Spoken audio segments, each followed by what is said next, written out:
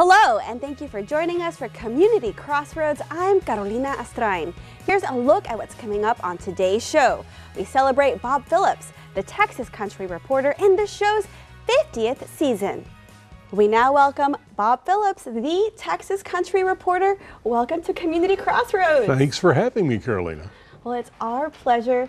And so tell us everything we need to know about this 50th season and what is making it stand out Oh, among the rest. My gosh. Well, first of all, who, whoever thought when we started this little show back in the early 70s, we would be celebrating something like a 50th season. amazing. That was never intended. Uh, as a matter of fact, this was going to be a one time only special 30 minute program that back in 1972. But when it first went on the air, it was so popular that it just kept going. And here we are, you know. Uh, uh, some people like to say I couldn't find another job, but I never looked. So, you know, here we are. We're doing a lot of things. Uh, we're, we're doing a lot of look backs at stories that we've done over the last 50 years. Uh, we have a thing called Golden Moments, where we have just little snippets of, of shows and stories that we show on every episode this 50th season. Uh, we're doing a symphony tour that I can tell you about. I, I wrote a book. I mean, we've got all kinds of activities that are going on for this year. And I'm sure there'll be some golden moments shared from your visits in the crossroads. We will do that. We've done a lot of stories in this area over the years. And so, talk to us about the early days. You mentioned you didn't expect this show to have to live past even a year. Let I me mean, tell what you was it this. like to make that phone call? I was a real reporter once.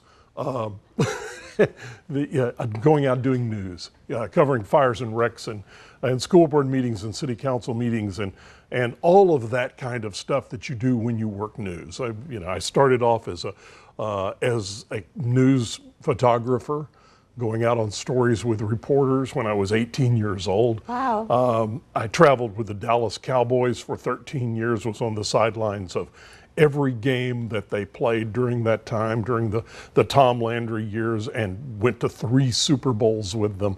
Uh, I, I became a reporter and a news anchor and did all of those things. But my heart was in telling stories about people.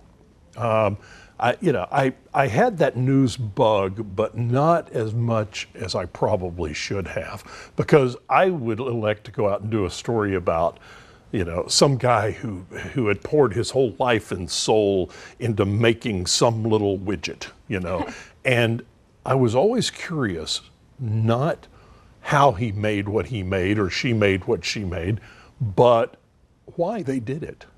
And that was what led me into this whole thing. Uh, whenever I got a chance, I would do those those feel good stories, and they would slip them into the news program, mostly on the weekends if they didn't have enough real news, and they would put those on. And somehow they became popular with the audience. Well, people And love those stories. I begged my boss, you know, our, our news director, I would say, let me package these into a program. And lo and behold, they let me do it. And wow. it caught on.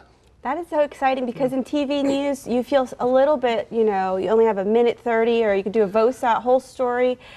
So you feel a little pressed in the pressure, right, for brevity. You have no idea how many times I would do a story and the producer or the news director would say, Bob, you're supposed to do that in a minute 10. and mine would be three minutes long. Oh, yeah, that's an eternity you in know, broadcast and, and I would be begging for more time than that. So uh, that's you know that's how I ended up doing a 30-minute weekly show as opposed to doing news segments. Well, it's certainly paid off, and I know you have adoring fans and viewers all over the state and the wor- and the country. And let's go ahead. We'll take a quick break. Coming up, we get to know Kelly Phillips, Bob's other half and co-star on the Texas Country Reporter. Don't go anywhere.